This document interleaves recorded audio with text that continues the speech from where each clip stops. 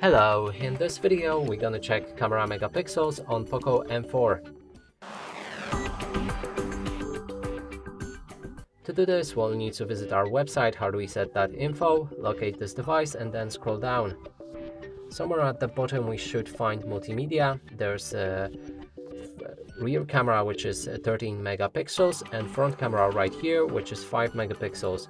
And that's it for this video, hope you like it, please consider subscribing to our channel, leave a like and a comment below.